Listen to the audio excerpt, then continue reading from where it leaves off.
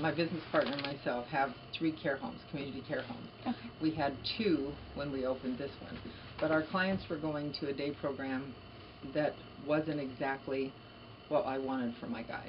Um, so we decided to open up Herbs and More. We Mhm. did that in October of 2007. Because we wanted a horticulture, combination of horticulture learning program. Uh, we have lavender plants that they are in charge of. They water, they weed, uh, they're har- they harvest it. They're harvesting now, in fact, some. Okay.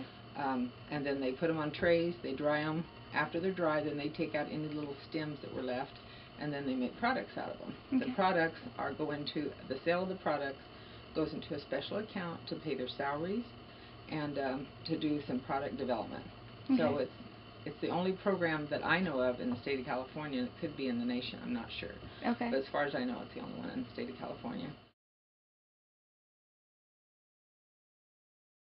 Is kind of done trial and error. There's some products we used to make that we don't make anymore because they weren't working. Um, and some products that we have added that are very, very beneficial. The Mhm. latest one that we added, which is the most awesome, is the pure lavender oil. Mhm. We've had it for about, I think, two years or three years now. This was a church and we had to remodel it. Mhm. Um, and it had weeds out where the lavender is with sticker weeds. Mhm. So we've developed all that. But lavender is a very soothing, relaxing herb and it's good for a lot of things. Mhm. And so the products that we develop have lavender in it. And to purchase the lavender was expensive. So we decided to grow our own, Okay. which now we have um, probably around 400 plants. Okay.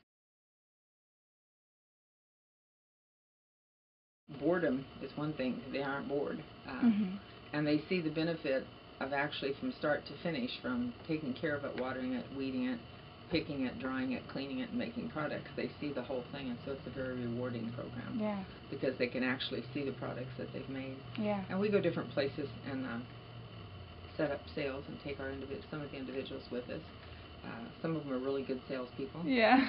I've had uh, one lady that a gentleman came up to buy something, and he said, "Well, I think I'll bring my wife tomorrow um, and let her pick out what she wants." She said, "Well, that's a good idea, or you could take something now to her today and let her come back tomorrow and see what else she wants." So they don't really let them leave. They're very good salespeople. Did she make the sale that yes, day? she did.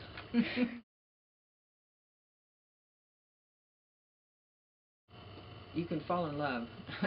Some a good part of our well in our home specifically, some of the clients there I have known some of our clients for close to 50 years. Yeah. So they're family, you know, and um, our people are very loving.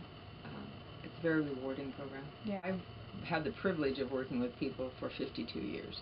I worked at the Developmental Center in Porterville for 39, and then we opened this our first home in 2003. Mhm. And so for 52 years, I've worked with the individual with special needs.